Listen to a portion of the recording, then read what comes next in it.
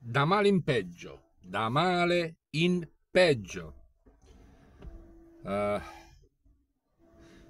partiamo da un po' di tempo fa, quando c'era Conte, grande Conte, uh, tutto il bordello che c'era in quel periodo. Bill Gates chiama Bill Gates e via, tutti in farmacia o nei punti di, per uh, le inoculazioni.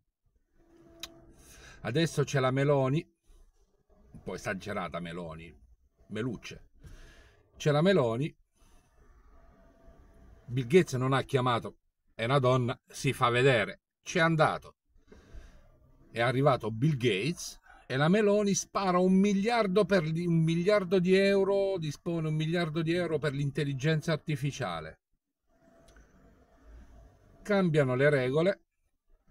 Vi ricordate, premetto, vi ricordate quando le Iene uh, fecero davanti quei tamponi per vedere se i nostri ministri e se i nostri politici si drogavano?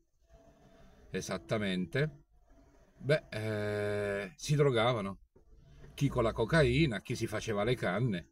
Però adesso hanno detto che se tu ti fai una canna non puoi guidare né la bicicletta elettrica né il monopattino elettrico né niente, non serve che stai bene.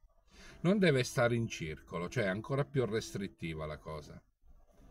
Non mi interessa, mi potete fermare quando volete e farmi un tampone quando volete, quindi arrivederci e grazie. Non è questo il problema. Il problema è la mancata coerenza, la mancata logicità che c'è in quello che fanno i nostri politici. Voi siete persone che ci state derubando, voi, voi il vostro stipendio lo state derubando perché non potete fare più nulla se non chiedete all'Europa, tranne truffarci con il bollo auto che è fuori legge, con eh, il eh, canone RAI che è fuori legge. Questo lo potete fare. Questo lo potete fare. Vi potete drogare, però gli altri devono pagare, prendere multe, rischiare di rovinare una famiglia o una persona per un vostro tornaconto. Uh, siamo arrivati a livelli di ridicolicità allucinante proprio, allucinante, allucinante. Oramai la politica in Italia...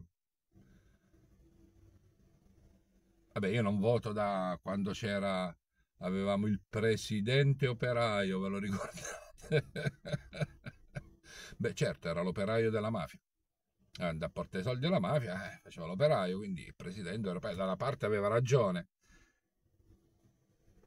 Quando è che è incominciato a aprire? Com'è, com'è, com'è che dice uh, Silver Nervuti, grandissima, grandissima, uh, che ha una grandissima modalità di espressione, quel Silver Nervuti è davvero, spiega le cose ma ve lo devo scrivere o lo avete capito? Ve lo devo...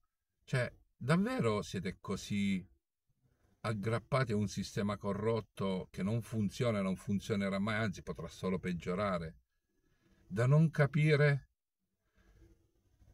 Cioè, ma lo vedete che c'è qualcosa che non va? Non... Però nessuno fa nulla, tutte spallucce, continuate le spallucce.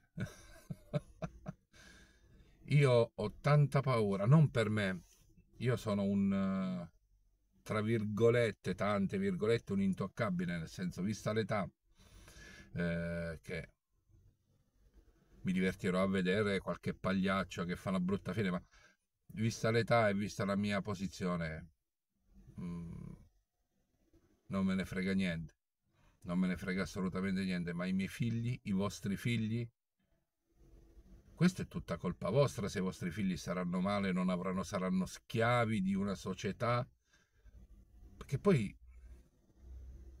Ma... Vabbè, comunque. Accendete il cervello. Perché eh, i penosi siete voi che non fate nulla.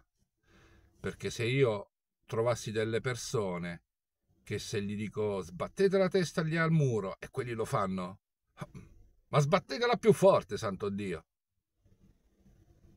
Voi siete quelli che state sbattendo la testa al muro usatelo sto cervello, cioè, solo per dividere le orecchie è brutto, capito? È come mettere un grande computer su un, te, su un bel mobile e poi tenerlo spento perché devi solo farlo vedere, non sai cosa cazzo farci. È la stessa cosa, è la stessa cosa. Lasciate perdere la televisione, lasciate perdere sti cazzo di telefoni, lasciate perdere la tecnologia, distaccatevi da questa perché perché vi ci stanno, queste sono, saranno le vostre manette. In bocca al lupo ragazzi, a chi non l'ha capito in bocca al lupo.